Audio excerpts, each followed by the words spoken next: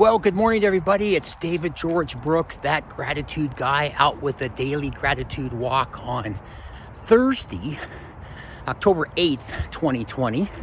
Getting the 10,000 steps in today. I'm hoping to do maybe a little more like 14 or 15,000. Make sure you're getting those steps in.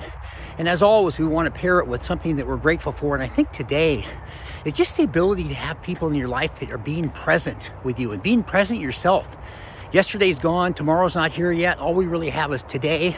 And in many ways, all we have is just this moment. So when you're interacting with people, I know recently we talked about multitasking. That's in some areas that's okay, but when you're in a uh, conversation or or being with somebody talking to them, really be present and be aware that all we really have is this moment and these moments.